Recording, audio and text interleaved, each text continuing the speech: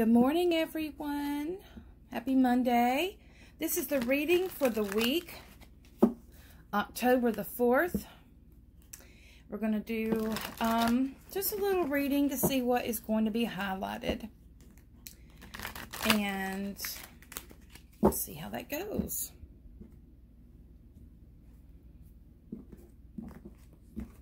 All right, for money,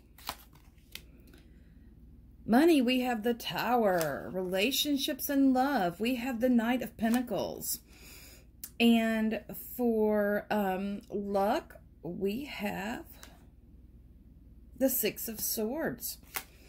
And for the challenge, we have the Four of Cups. And the underlying energy is the Magician. That is really good to remember. So first, let's get started. And I'm going to do a clarifying when we get done. So first here, we have the tower for our money and work. This is saying that stuff that we've done in the past doesn't really isn't really working at the time.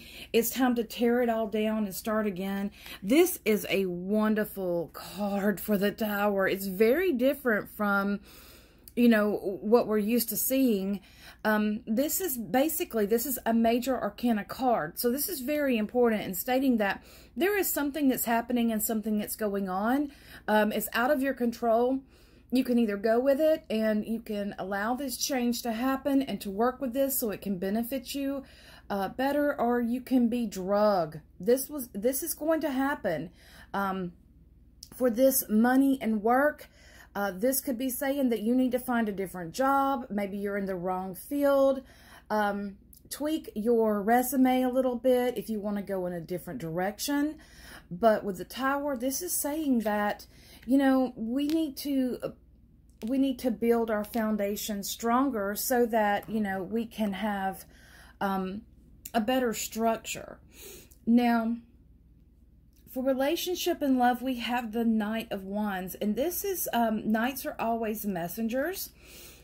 And you will see how he is. He's carrying something. He's bringing something to you.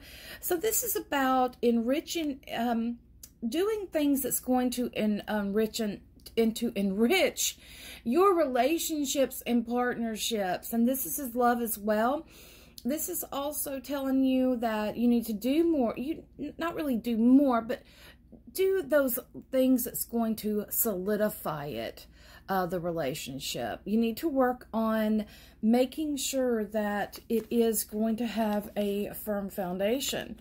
Foundation, foundation, foundation has been coming up lately. So our next card, which is luck, is the Six of Swords. And this is saying that you are indeed going away from hard times and hard struggles. Uh, you may have help. Uh, someone is helping you um, find the way and find the path to do that. So this is a really good card because when you're starting over, when you're having to uh, redo some of the stuff, you're having to go back over it, change is happening, obviously. It's always good to have somebody that can help you out, get your foot in the door, um, kind of give you some guidance that can help you. This is always a, a, good card to have in that instance. And for the challenge, we have the Four of Cups. And this is very different from what we are used to seeing in the Four of, four of Cups. But basically, Four of Cups tells you, you know, the Four is the building blocks.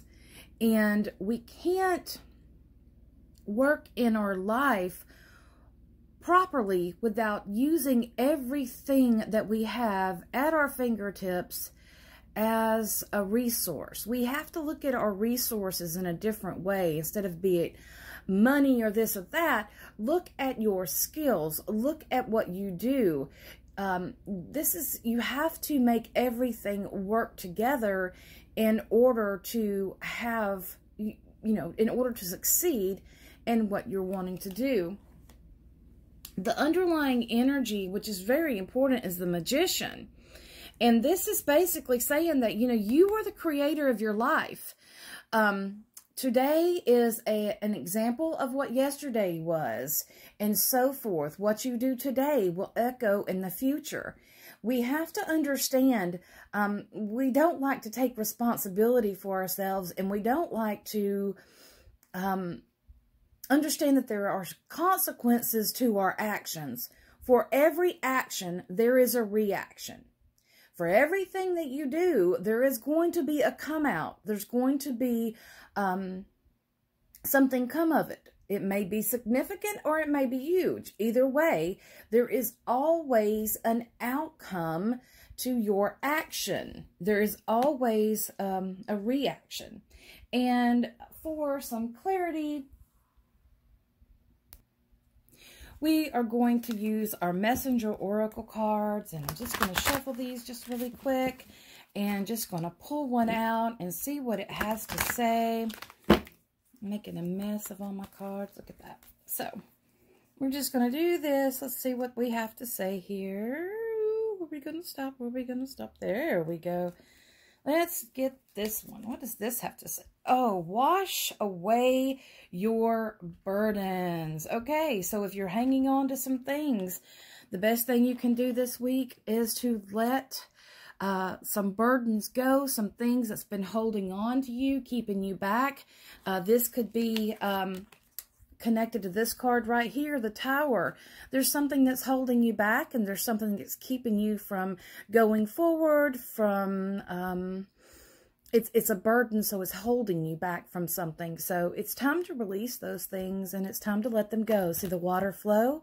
Let it flow. Let it go. the lotus is a beautiful flower and it comes out of the mud. We have to remember that.